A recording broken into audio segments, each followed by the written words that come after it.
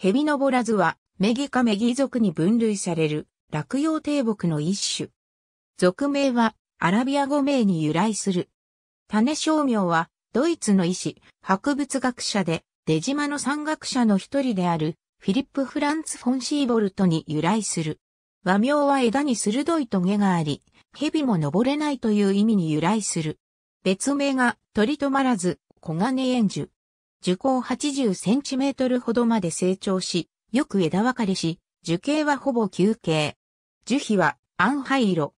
枝は赤褐色で量があり、葉の付け根には葉が変形した単一、または三分岐した長さ5から15ミリメートルのトゲがある。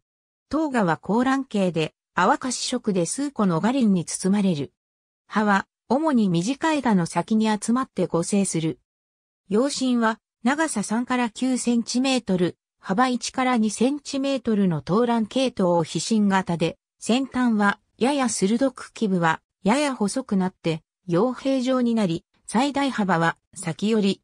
葉の円には小脂肪が密生し、両面とも無毛で角質。若葉に赤紫色の反紋が出るものがあるが、成長するにつれて消失する。葉の裏は古くなると白色を帯びる。5から6月に単枝の先から相乗果樹の黄色の花を三形状に垂れ下げてつける。花の直径は 6mm ほど、花弁と広卵等形の額片は6個で、幽髄は6個、死髄は1個で、花中は短い。果樹は葉よりも短い。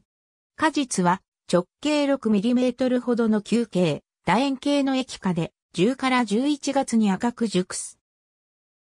種子は平らで、やや凹んだ卵形長楕円型で表面が薄褐色黒褐色で、一端が時にやや歪む。春林道などとともに、湿地付近に自生するヘビ登らず日本の固有種で、本州と九州のやや温暖地に分布する。東海丘陵要素植物群の一種とされている。湿地付近などの痩せ地にやや稀に生育する。材はベルベリンなどのアルカロイドを含み薬用にされる。生垣として利用される。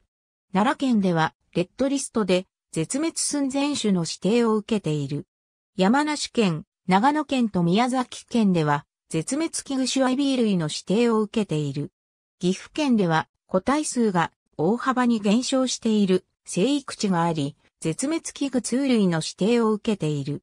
京都府では、生息地の湿地周辺の環境遷移が進んで、個体数が減少傾向にあり、絶滅危惧種の指定を受けている。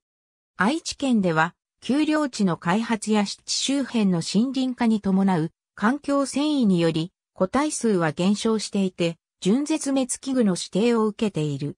三重県でも、準絶滅危惧の指定を受けている。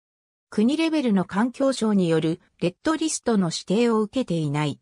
ありがとうございます。